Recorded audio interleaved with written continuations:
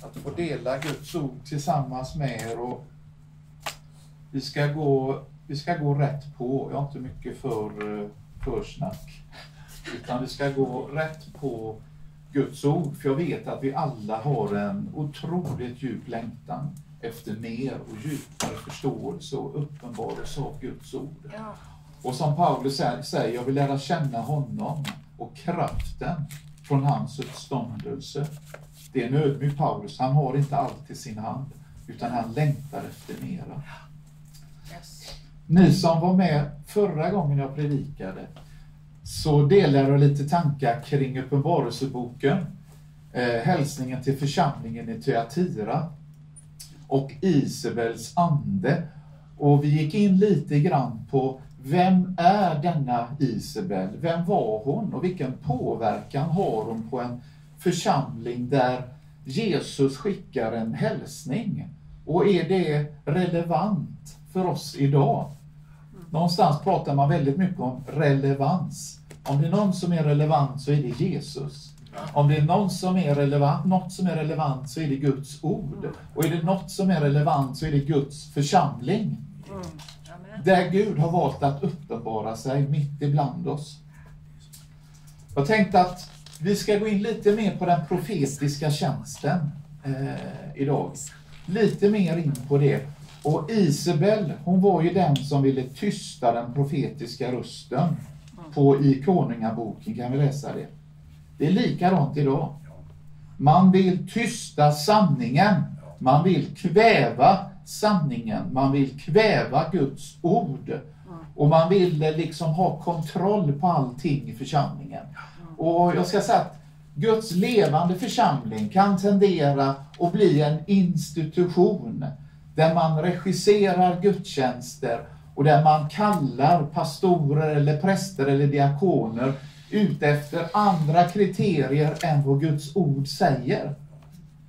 Guds ord har kriterier för hur en människa, en man eller en kvinna, blir kallad till de tjänster som respektive en man och en kvinna skall ha. Båda könen är inte kallade till alla tjänster. Det ska vi också ha klart för oss. Det får man knappt säga idag 2022. Det är så här, Gud kallar männen till speciell kallelse och Gud kallar kvinnan till en speciell kallelse. För att det ska kompletteras, för att det ska vara sida vid sida. Så innan vi går in här så tänker jag, ska vi be en liten bön att Guds ande ska få leda oss, att Guds närvaro ska fylla oss, den här samlingen. Vi tackar dig Jesus, Herre, för din nåd, Herre. Vi tackar dig Jesus, Herre, för din kärlek, Herre. Vi tackar att du är trofast och sann. Du är Guds levande ord. Du är den som möter, du är den som mättar. Du är den som eh, upprättar människor, Herre. Du är den som Tack, tröstar. Herre. Den som behöver tröst. Vi tackar och prisar dig och vi ber, Herre, om ett profetiskt ljus, Herre.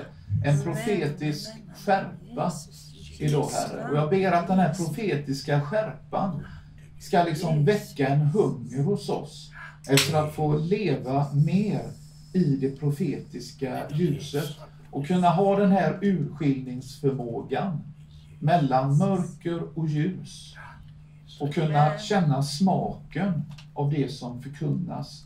Om det är rätt ingredienser eller om det är Amen. felaktiga ingredienser. I Jesu namn. Amen. Namn. Amen. Amen.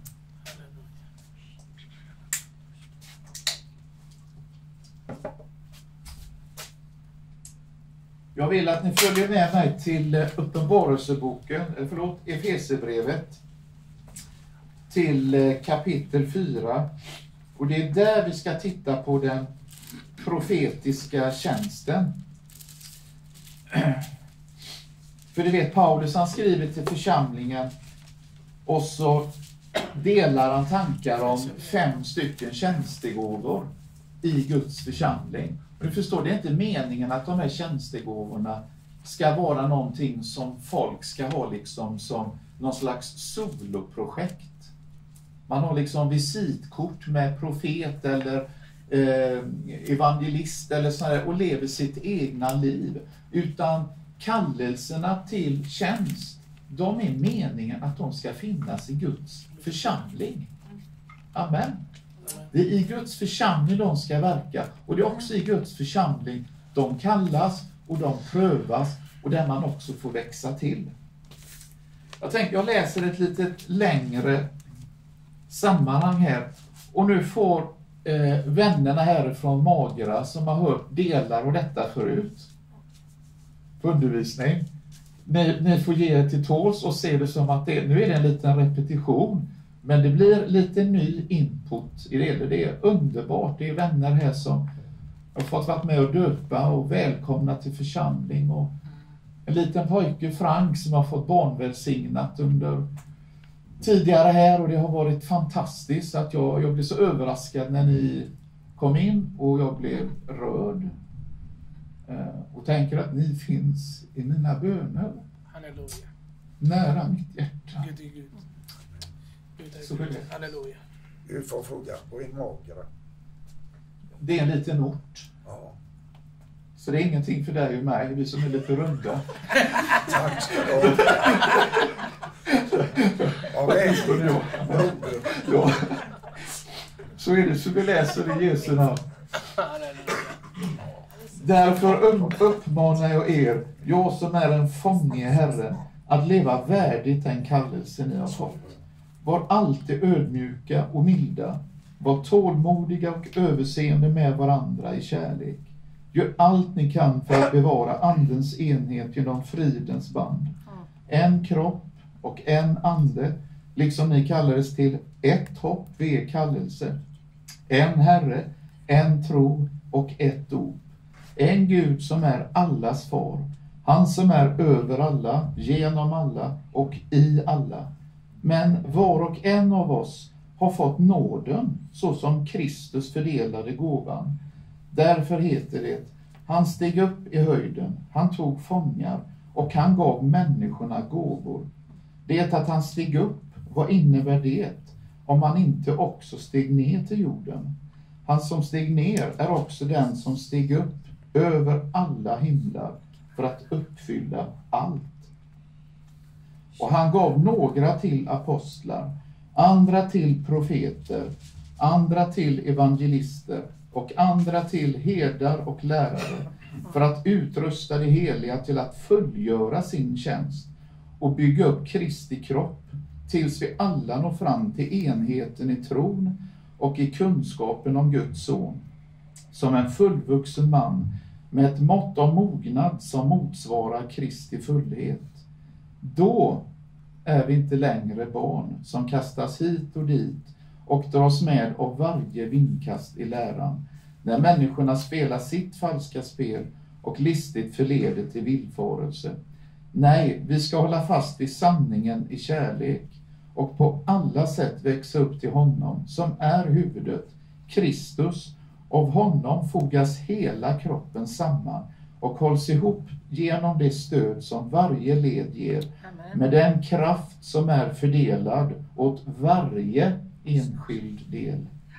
Så får kroppen sin tillväxt och bygger upp sig själv i kärlek. Amen. Vi kan säga att det här avsnittet skulle jag vilja dela upp i några delar. Så det är viktigt när vi pratar om tjänster och kallelse, det finns kriterier för det och det finns också frukt. Andens frukt. För att frukten hör till tjänsten. Du är kallad att vara Jesu vittne, Jesu lärjunge, men du är också kallad att bära frukt. Det vill säga, du och jag kan inte dela upp våra liv, att vara en person när vi är bland syskon och en annan när vi är bland världens människor. Du förstår, det, vi kan inte dela upp det livet, vi kan inte kompromissa med det livet. Jag tror att det här är någonting att växa i, att vara den samma, det är min stilla bön. Låt mig vara samma person som jag är bland mina systrar och bröder, som jag är på min arbetsplats. Jag ska vara lika eh, jag i den form av helgad jag nu är, här som jag är på min arbetsplats. Jag ska heller inte kompromissa, jag ska ha ett, eh, en integritet som människa. På samma sätt som jag här i församlingen, som jag har bland mina grannar och på min arbetsplats. Jesus kallar oss till ett helt liv. Jag tror att det är en utmaning idag för oss kristna i Sverige att vi tenderar att dela, leva delade liv. Nu, nu är jag kristen, nu är jag, liksom, nu är jag i församlingen, nu är jag liksom troende och frimodig. Men när jag är där ute, vem är jag då? Det är där ute du och jag är kallade till att vara Jesu vittnen, Jesu lärjungar, där vi ska vara salt och, och ljus. Och till det så behöver vi det profetiska ljuset, vi behöver det profetiska ordet, vi behöver Guds vägledning för varje dag. Om du inte tror att du behöver det, så har jag goda nyheter. Du behöver det. Och det finns, det finns för dig. Vägledning för dig idag. Så därför, vi kan titta på några ställen här. De första verserna som vi läste, 1 till 2, då kunde vi se att det handlar om andens frukt här. Vi kan känna igen det här från Galaterbrevet. Vi kan se att det handlar om eh, ödmjukhet, mildhet, eh, tålamod. Några av andens frukter i, eh, som, stå, som det står om i Galaterbrevet. Så därför uppmanar jag er, säger Paulus. Det är en uppmaning. Var noga med att förbli i Kristus och i hans ord. För utan mig kan ni inte bära frukt. Så att Guds ord och Guds ande in i våra liv gör att det får forma oss och då kan vi bära frukt. Det finns de som jag hör ibland liksom, ja, jag lever bara, det är bara anden, jag följer bara anden. Men så är inte Guds ord där. Då får, det är lätt att djävulen är där med sina demoner och blandar upp det som man tror är från anden. Och för att man ska kunna urskilja det så måste Guds ord och Guds ande finnas i våra liv. Då får det forma vårat inre. Och tillsammans, då kan vi få bära frukt. Så när vi pratar om tjänstegåvor så är frukten av livet viktig. Och vi kan se det, vi, det, det finns ju en hård prövning av ledare runt om i världen och man kan då och då läsa att det är ledare, pastorer som, som faller i olika frestelser. Och det gör också, tycker jag, som Christian delar det här att leva i den dagliga överlåtelsen. Att leva i den här dagliga syndabekännelsen. Alltså jag är en ny skapelse, men fortfarande kan den här ställa till det för mig. Fort, fortfarande kan jag känna ibland att ja, men, det är inte alltid att jag handlar rätt. Vad beror det på? Det beror ju på att jag inte är helt förvandlad nu. Men när man har en övertro, då har man tagit ut allting här och nu. Jag är helt förvandlad här och nu, men man blir ganska smärtsamt påminn om att så är inte fallet. Utan du och jag är människor som behöver Guds nåd varje dag. Amen. Vers 3 till 6 kan man säga, det hör till kallelsen för andens enhet. Och jag delade ju lite grann kring eh, ekumeniken och Isabel och, och, och det här sist, att det är någonting som håller på att förleder kristenheten. Och jag delade lite grann ett personligt vittnesbörd i det här. Eh, hur jag konkret har fått stå, stå i detta. Så. Och, eh, men du vet, Bibeln säger någonting om att vi ska praktisera så som Bibeln säger. Säger Bibeln att vi ska omvända oss och bekänna våra synder, då är det ju det vi gör. Då säger vi inte till människor att ja men kom som du är, gör som du vill. Gud är bara kärlek. Gud är bara kärlek. Kom, gör som du vill. Vet du, du är bara älskad. Eller vi, vi, vi döper ett litet barn eller du kanske inte behöver bli andedöpt. Alltså så många olika samfund och församlingar praktiserar på olika sätt. Jag satt i ett samtal med en, med en biskop på ett Zoom-möte för lite över ett år sedan. Och han skulle visitera det ekumeniska eh, arbetet i eh, Bjärkebygden, där jag var satt och var pastor. Väldigt intressant att man dyrkar, man ska på på något sätt hålla varandras olikheter väldigt högt. Och för mig, då tänker jag, men det stämmer ju inte med Guds ord. Därför Guds ord säger att vi ska ha en andens enhet, en tro. Den tro som gör dig och mig rättfärdiga. Vi är rättfärdiggjorda genom tro på Jesus. Inte på grund av våra gärningar, inte på grund av att vi har gett allt till de fattiga eller eh, liksom gått ut och gjort massa gärningar. Det är inte kristen tro, det är katolicism. Kristen tro, det är att låta bli förvandlad, att bekänna sin synd, Amen. ta emot Eh, det är tro. Och när vi har tagit emot det i tro, då är vi, du och jag, rättfärdiggjorda. Så när han ser på dig och mig, då ser han ju Kristus i oss och vi i honom. Så andens enhet, det är någonting helt annat än ekumenik. Vers 7-10, Och vi vet att kallelse är bara nåd. Är du, är du övertygad att det är nåd att du eh, har fått bli en kristen? Amen. Är du övertygad om att det bara är nåd? Ja. Har du en gnutta sund självinsikt så vet du att du är en människa som egentligen förtjänar helvete och evidom. Det får man heller inte säga högt idag, 2022. Utan, eh, nej, ta inte om det. Jag har suttit i samtal med några av Sveriges ledande pastorer inom frikyrkan och diskuterat det lite grann. Och eh, så sa nej, vi håller inte med dig Göran. Det är inte mig ni ska hålla med. Läs Guds ord. Läs Guds ord. Ja, men jag, tror att människan är till 50% fallen, eller till 75%. Så du menar att Jesus, då behöver- behövde bara Jesus spika upp två armar och ena benet. Alltså han behövde ju helt och fullt dö för di- din och min synd. Det innebär att han helt och fullt spikas upp på ett kors för dig och mig. Helt och fullt. Och det är bara nåd att du och jag får vara kristna. Och det är nåd över nåd att du och jag får tjäna honom Amen. på det sättet han kallar dig till. Om det är genom att vittna, genom att säga någonting till någon annan människa, att du får ett hjärta för människors frälsning. Att du kanske har blivit så drabbad att du gråter över människors nöd. Du kanske har blivit sån att du gråter över att människor inte har blivit frälsta. Du kanske känner en sån helig, en sån helighet i ditt liv. Jag måste bara berätta om Jesus. Då är det nåd att du har fått den kallelsen. Att få berätta något om Jesus. Att få vara ett salt, att få vara ett ljus. Att få vara en profetisk röst som kommer med ljus in i mörkrets värld. Och som vår broder sa, när mörkret tränger sig på, när, du närmar, när vi gick upp till Guds hus, då fylldes jag av glädje, står det i Psaltarpsalmen. Ja. Då skingras Amen. mörkret. Ja. Då skingras de här molnen över en. Utan då känner man frimodigheten. Så vi behöver församlingen som en kraftstation, där. Ja. Förstår ni? Det är en Ja. kraftstation där vi kommer samman. Ja. Käre Gud, bevara mig för solokristendom. Gud, så torftigt. Så ensamt.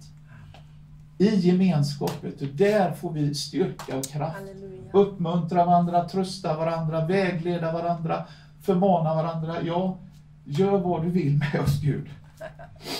Så man skulle egentligen kunna kalla de här första tio verserna i Efesierbrevet för någonting av urkyrkans trosbekännelse. Alltså, är, ni- är ni med? Alltså, det är frukt, det är, det är en nåd, det är tro, det är en Herre och så vidare. Eh, det är enhet, det är någonting av en trosbekännelse. Och detta ligger innan Paulus börjar tala om de fem tjänstegåvorna. Och så står det att han tar eh, de här fem, förresten, vi ska gå vidare. Vi ska ta om vers 1 till 10, så jag inte glömmer det här. Om vers 1 till 10 är grund utifrån kallelse så är verserna 12 till 16 syftet med kallelsen. Vad är syftet med kallelsen? Jo, det är ju att vi ska utrusta, de här gåvorna ska utrusta alla de heliga, står det. Amen. Till att fullgöra sin tjänst. Du vet, det är inte så att man liksom kallar på en pastor och så ska pastorn eller prästen eller vem det nu är, det är, det är han som ska, eller hon då som ska göra sin tjänst. Det är inte så. Det har blivit helt fel. Det, det är det man kan kalla för institutionskyrkan. Ja. Där kyrkan har blivit en institution. Då decimerar man, då tar man bort den auktoriteten och det mandatet som Guds församling, som du har fått som syster och broder och ett äkta barn i Kristus. Du har fått ett mandat och en kallelse. Och de gåvorna ska finnas där. Så det är att utrusta de heliga, det vill säga dig och mig, till att fullgöra våran tjänst.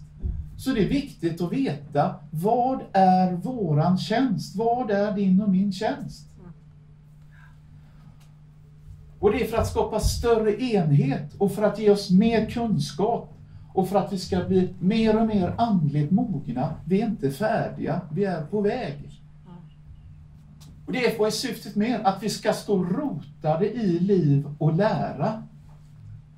Jag delade lite grann om det sist, så när någon säger att ah, men vi, vi vill tvinga dig in i ekumeniken. Det här och det här ska du göra fyra gånger per år. Sorry, I'm not for sale. Sorry. Så att när man, står, när man blir mer och mer rotad i Kristus, i livet och läran, då blir man ingen sån där vindflöjel som gör så här. Får se hur jag ska vara idag. Vi får se nu vad vinden blåser så människor tycker om mig. Vet det är inte Gud, det är inte människor du och jag ska liksom, vi ska frukta Gud som vi hörde här. Helig gudsfruktan.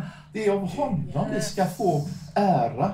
Det är han som ska ära oss. Det är han som ska belöna oss. Det är inte människor som ska belöna oss. Och detta är till för att vi ska växa till på alla sätt. Vi ska inte vara bebisar hela livet. Vi föds som bebisar, andliga bebisar. Men vi ska få mat och näring. Vi får mjölk i början och sen fastare mat. Och så får vi träna på olika sätt. Vi ska växa till mer och mer. Mm. Och du vet, det betyder mycket för hur du och jag sköter det andliga livet och den tjänsten. Tänker jag att ja, men, han eller de kan göra det. Och så finns den här svenskheten att ja, men jag är ju ingenting. Mm.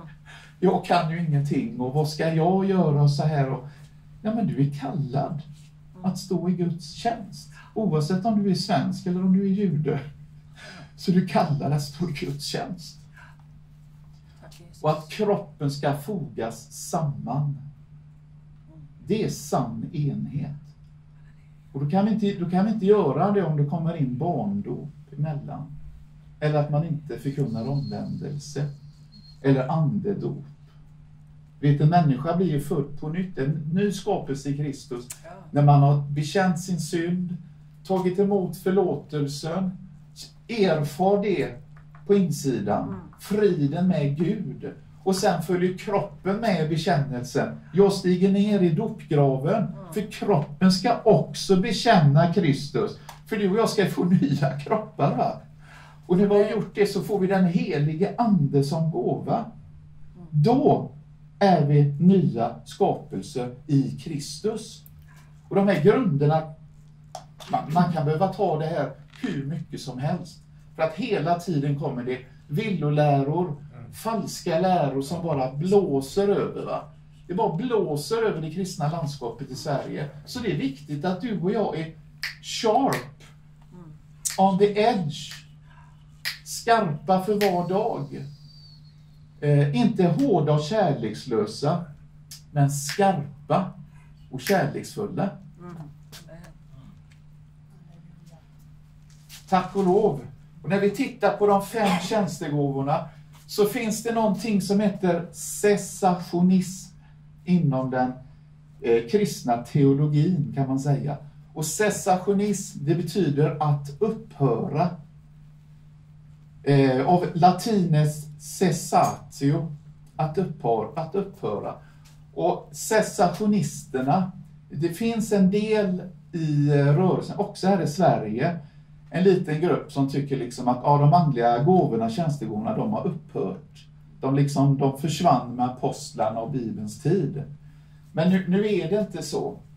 Det finns dock en gåva som jag vill eh, specifikt säga och det är apostelns gåva. Det finns inga apostlar idag utifrån den apostoliska mening där, där vi pratar om ögonvittnen.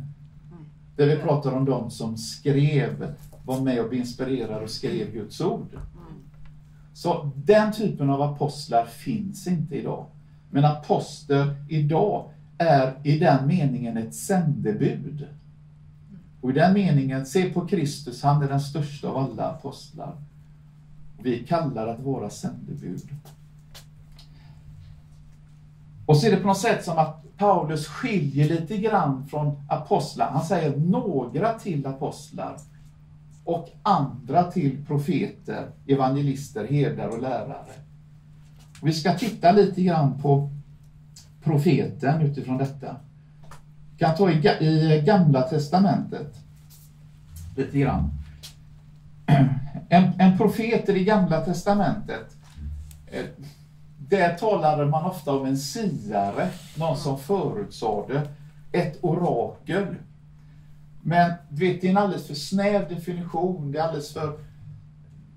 Det är en snuttifierad version av vad en profetisk tjänst är. En profet är ju inte bara någon som förutsäger framtiden. Det är inte bara det. I Septuaginta, i den grekiska översättningen av det gamla testamentet, så står profetes för det hebreiska nabi. Och det syftar till en person. En nabi är en profet i det gamla testamentet som ropar ut, som förkunnar. Hur, hur många nabis har vi i Sverige idag som ropar ut? Hur många profeter har vi idag som ropar ut? Och detta är inte framförallt till hedningarna, utan den profetiska tjänsten vänder sig framförallt till Guds folk. Det är till Guds folk gamla testamentliga profeterna talar till. Det är en som förkunnar. En profet är en förkunnare av Guds ord.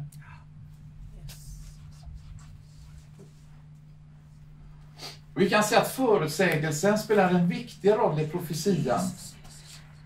Men en profet är en förkunnare av Guds ord till Guds folk. Med ett gudomligt uppdrag. Och genom gudomlig uppenbarelse, inte minst i profetens samtid. Det profetiska budskap som handlar lika mycket om nutid som om framtid. Och det viktiga i profetens tjänst, det är att binda folket vid förbundet.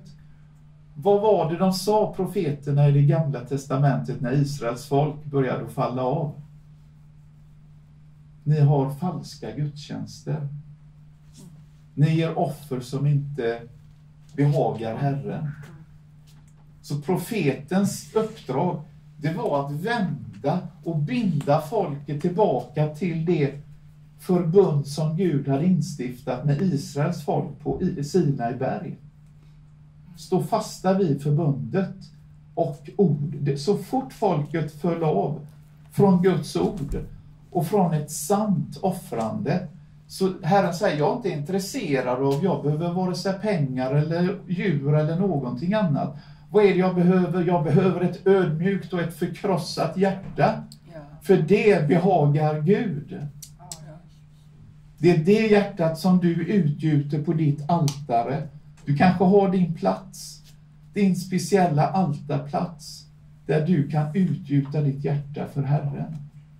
Det är sann gudstjänst. Där börjar den sanna gudstjänsten. Sen kan man börja offra.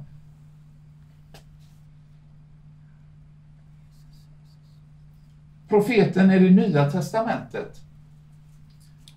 Är det en annan ande i det gamla förbundet än vad det är i nya förbundet? Det är en och samma ande, samma heliga ande. Tänk att det är samma heliga ande som talar, inspirerade dem som finns här, nu. I dig. Och ibland oss. Det är mäktigt. Vi kan läsa om Jesaja, vi kan läsa om Hesekiel, vi kan läsa om Jona, vi kan läsa om olika, Elia, Elisha. Vi kan läsa om, oj, de blir inspirerade. Men det är samma ande som finns här och som bor i dig och mig. Det är mäktigt. Och vad säger Herren om oss? Att vi är ett tempel för den helige Ande. Vi är ett tempel för den helige Ande. Tack att han har valt att ha boning i en enkel människa som dig och mig.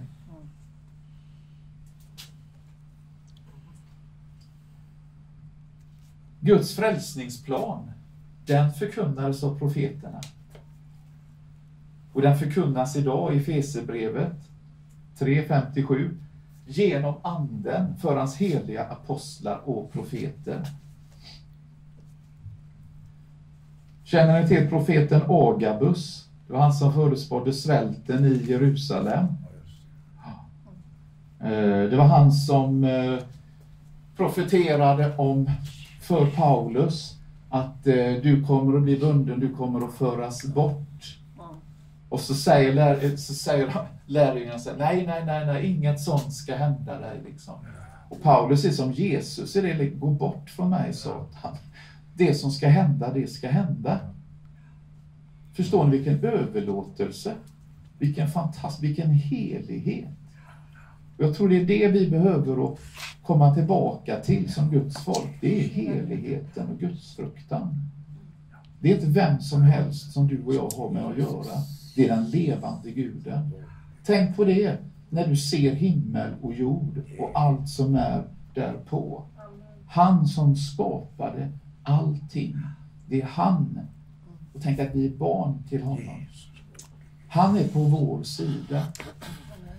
Han är på vår sida. Den profetiska gåvan används också i avskiljandet av tjänster.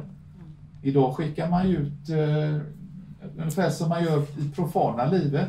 Vi söker en si och så, du ska ha den här och den här utbildningen och du ska helst ha jobbat med det här si och så många år. Och Precis så, alltså det är, jag, när jag ser det, jag blir illamående. Det kanske låter lite överdrivet, men jag, jag blir illamående när jag ser det.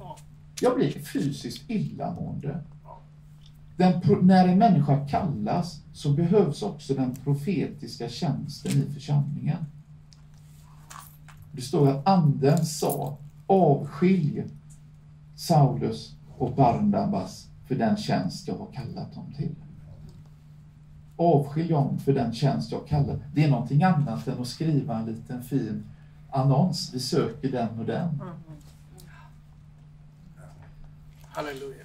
De sändes ut av den helige Ande. De var av, alltså vi, vi konstruerar så mycket. Jag nämnde lite grann sist om några avgudaplatser. Det var Betel i södra Israel och uppe i norra Israel. Där hade man gjort eh, falska offerplatser. Jesus. Hade falska gudstjänster. Där hade människan kontroll på allting som hände. Och så kan det vara i församlingen också. Men Herren kallar sina tjänare till sina specifika tjänster. Och det är också han som sänder ut i hans tid. När tiden var inne, vad stod det då? Ja, då sände han sin son. Så när tiden var inne, ja men då sänder han dig och mig. Så du vet, vi, vi, vi arbetar med en stressad klocka liksom. Det, det är liksom Kronos, det är våran tid som vi försöker liksom ha koll. Gud har Kairos, Guds tid.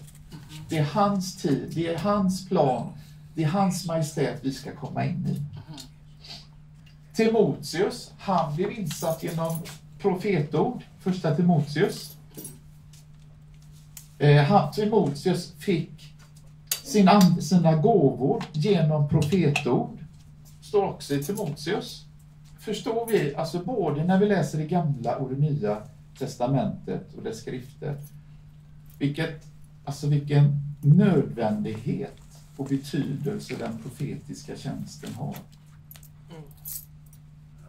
Du vet, man, det, den profetiska tjänsten, det är inte bara någonting man går för liksom för att någon ska säga någonting till en bara så liksom att ja, jag upplever att eh, liksom sensationer, utan den profetiska tjänsten är mycket djupare in i församlingen. Vad är det som har hänt idag när det gäller den profetiska tjänsten i modern kristen tid och i Sverige där vi lever? Eh, det som har varit, det kan ha varit så här att det har funnits en del som har varit falska profeter eller att den profetiska tjänsten har missbrukats. Så har man inte vågat släppa fram den profetiska tjänsten för man är rädd att det ska bli fel igen. Så istället har den profetiska tjänsten ersatts av professionella pastorer som alltid ska leverera ett budskap varje söndag. Va? Så har inte Gud tänkt. Detta har lett till ett försvagande av den profetiska gåvans auktoritet. Och att den gåvan liksom förflyttades till ett läroämbete. Och det som har gjort det här idag, det är att vi har liberalteologiska högskolor. Det är det som har gjort till att de här fem, fem tjänstegåvorna har utarmats. Därför att du ska läsa, jag känner ju många människor, är du bara begåvad och ambitiös så kan du läsa till präst eller pastor eller diakon. Du behöver inte ens ha en tro, det kan räcka med att du är på väg. Klarar du examina, dina uppgifter och kan liksom redogöra på det på ett liksom med bra driv och så här, så kan du bli examinerad till tjänare i Guds hus. Det, det är så fullkomligt emot det som Gud har tänkt. Så istället så kan församlingar bli liksom förvaltare av en demokratisk värdegrundsbaserad kristendom. Alltså, är, är ni med? Det kan bli det blir istället en demokratisk kristen värdegrund liksom. Istället för en levande församling. Då faller ju hela syftet med att församlingen består av levande byggstenar. Eller hur? Vem är det som gör byggstenarna levande? Jo, det är Jesus. Det är han som ger sin heliga ande. Och vem är det som ger byggstenarna gåvor? Jo, det är Jesus. Så det där med att vi ska hålla oss korta. Käre Gud, Paulus undervisade så satt det någon broder i fönstret på kanten. Han predikade så länge Paulus så att brodern ramlade ut genom fönstret ner på marken och dog. Och det var förtvivlat liksom. Och här säger jag, vad, vad kort liksom så här. Jag tror vi behöver längre gudstjänster i det här landet. Därför att Gud måste kunna få tala färdigt Amen. någon gång. Han måste få tala till punkt. Amen. Det är inte du och jag som bestämmer när gudstjänsten är slut. Det är när vi upptäcker den heliga Andes ledning att nu Herre, tror vi att du är färdig för idag. Amen. För nu, för nu Ja. så har det här, du har möjligheten att tala och verka precis som du vill. Det är det som gör det, vet du. Tack Jesus. Tänk profeten Joels ord liksom. I, det ska ske de sista dagarna, säger Gud, att jag utgjuter min ande över allt kött. Amen. Jag utgjuter min ande över allt kött. Det betyder att den heliga ande är utgjuten över alla miljarder människor som är på jorden. Nära över varje människa. Så man brukar säga, man är bara, Gud är bara en bön bort. Ja. Anden ligger, det står ju så, utgjutet över allt kött. Guds ande var utgjuten över mig när jag var i min knarkarkvart för över 25 år sedan. Nu är det snart 25 år sedan jag blev befriad. Halleluja, tack och lov. Den helige ande var där också. Han bara väntade på att jag skulle bli färdig och ge upp och bekänna min synd så att han kunde flytta in. Så är det, vet du. Det är, Guds ande är gjuten över allt kött. Era söner och döttrar ska profetera, era unga ska se syner och era gamla ska ha drömmar. Ja, över mina tjänare och tjänarinnor ska jag i de dagarna utgjuta min ande och det ska profetera. Du vet att alla kan profetera Men alla är inte kallade till profeter. Men Anden fördelar sina gåvor precis som han vill över dig och mig. Paulus tar det här ordet, citerar det i Apostlagärningarna, så kastar han ordet rätt in i framtiden, till oss. Det här är för er. Och det gäller i all framtid till- till dess jag kommer tillbaka. Så står det sen i Korinthierbrevet 14, 1-5. Sträva efter kärleken, men var också ivrig att få de andliga gåvorna, framförallt profetians gåvor. Den som talar i tungor talar inte till människor utan till Gud, för ingen förstår honom. Han talar hemligheter i sin ande. Men den som profeterar talar till människor och ger uppbyggelse, uppmuntran och tröst. Den som talar tungomål bygger upp sig själv, men den som profeterar bygger upp församlingen. När jag läste det här, när jag var ganska nyfrälst, så hamnade jag raklång på köksgolvet. Halleluja. Tårarna bara spruta. Därför jag sa, det drabbade mig, det gjorde jag sa, Herre, du vet hur mycket skit jag har ställt till i mitt liv. Jag har gjort allt annat än att, bryt, än, än att byggt upp. Jag har brutit ner. Jag har förstört så mycket. Kan du använda mig på det sättet att jag får vara med och bygga upp? Så vill jag inget hellre, Herre. Jag vill inget hellre än att ha den gåvan. Och så gick tiden. Och jag jobbar nere på Drottninggatan. Där träffade jag och Lars varandra första gången, det är många år sedan nu. Och- 20 år sedan. Ja, käre Jesus. Och vi ska åka iväg till Varberg till LP-kontakten där och ha ett LP-möte. Lasse och Tony, de skulle lira gitarr och sjunga och jag skulle dela ett Guds ord. Och när vi sitter i bussen på väg ner till Varberg, jag sitter längst bak i bussen, så känner jag en sån tyngd över mitt liv. Och jag känner bara så här, ja, jag vill kliva av bussen. Vad är nödutgången? Jag, för, jag förstod inte vad det var för någonting. Jag förstod inte att det var Guds kavod, Guds tyngd och Guds helighet som låg över mig. Jag hade ingen erfarenhet av att identifiera det.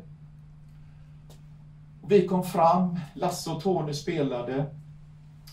Jag predikade ett Guds ord. Och eh, Ove Strandberg som eh, var föreståndare där nere i eftermötet. Han går fram, ställer sig mitt i salen och så sätter han foten i golvet så säger han Du som har en profetisk hälsning, kläm fram med den nu. Så säger Herren. Du finns här som känner dig ovärdig att låta döpa dig. Men nu är din tid, mitt barn. Nu ska du gå ner i dopgraven. Och så var det inget mer. Och så åkte jag hem och så satt, satt i bussen och tänkte så här, nu har jag gjort bort mig för all evighet. Nu har jag gjort bort mig, tänkte jag. Det, attackerna kommer och man tänker, var, var det mitt eller var det från Herren? Eller, det finns också någon slags sund självprövning i det. Och så hade vi ett möte i Pingstkyrkan i Frölunda i hundrasalen, ett LP-möte, månaden efter. Och eh, Lasse och Tony spelade igen på det mötet. Och jag delade om den dubbla strömmen. Men innan dess så kommer Ove Strandberg in. Går rätt fram till talarstolen och säger, jag måste få dela någonting. Och så säger han så här att vi har jobbat nu hårt i tre, fyra år och ingenting har hänt. Och jag och min fru Inga-Britt, vi känner nästan att vi, vi nästan är på gränsen att ge upp. Men tänk, nu har vi låtit döpa sex stycken människor. Amen. De sex stycken människorna var på det mötet nere i Varberg.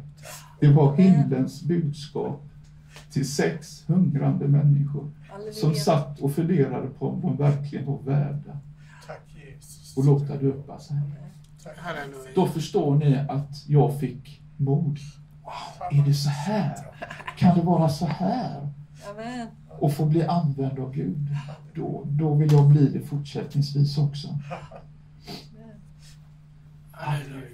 Ni förstår, det blev en uppenbarelseplats för de här sex vännerna på det här lilla LP-mötet i Varberg. Det, när vi har kontroll på allting, då är inte, då är inte mötet en uppenbarelseplats. Nej. Utan då är det en religiös inrättning. Men när mötet får vara en uppenbarelseplats för Herren och ordet, då kan allting hända. Då kan allt vara möjligt. Vad var det det stod i Amos 5, 4-6? Det ska vi gå till också, avslutningsvis. Jag är inte kort idag. Jag är lite längre idag. Det Amos. Kapitel 5, vers 4-6.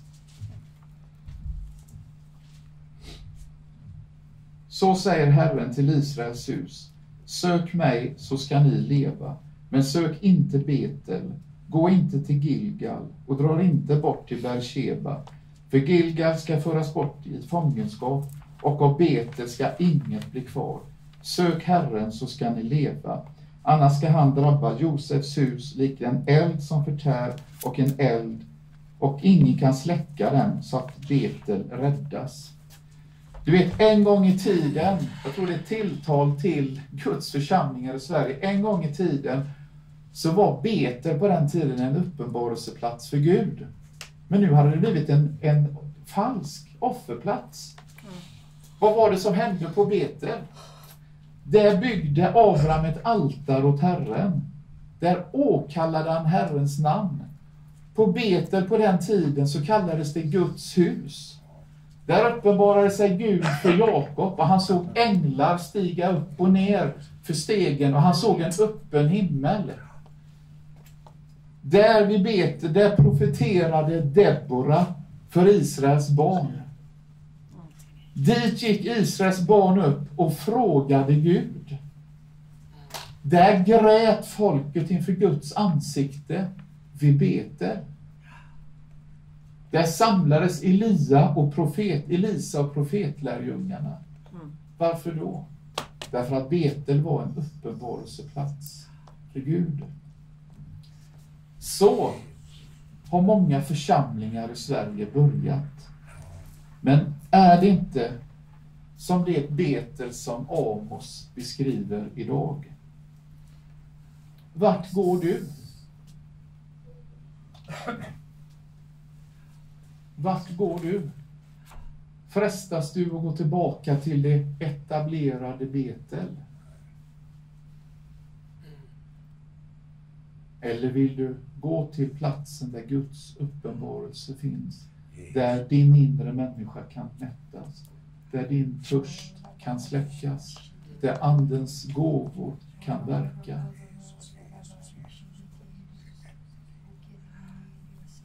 Vad är ditt be- Betel? Jag vet att du längtar efter. Betel.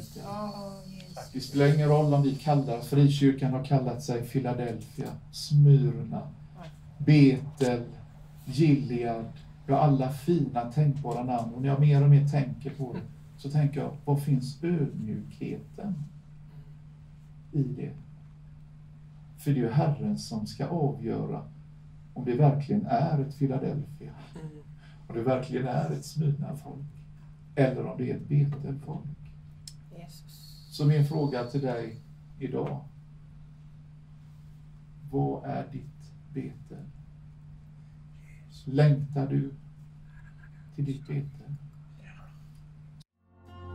Dessa tecken skall åtfölja tro